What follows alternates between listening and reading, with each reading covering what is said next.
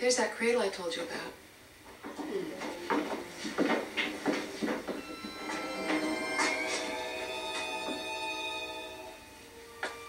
Please don't wake my baby.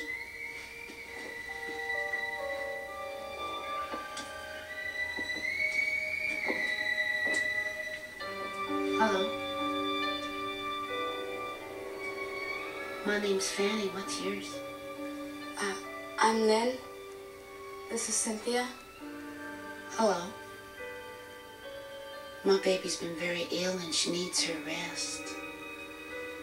Oh, well, hope she gets better. Oh, she's all better now, but she's still quite tired. Ma says it's important for little girls to get their 40 weeks. I go to bed every night at 9 o'clock, except sometimes Pa lets me stay up late to play with my dollies.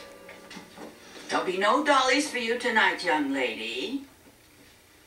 Time you got ready for bed. Yes, Ma. Has Fanny been a good girl? Or has she been sassing anybody? No, uh, she's been just, just fine. Good. Well, she's got a birthday coming up. Guess you can always count on a young'un to behave when party time rolls around. I'm to be 12, and I'm going to have a birthday party. Yep.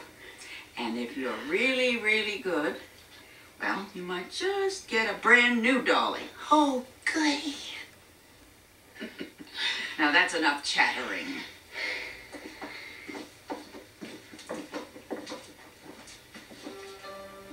Bye, Miss Lynn. Miss Cynthia. Land sakes, that child can be a caution.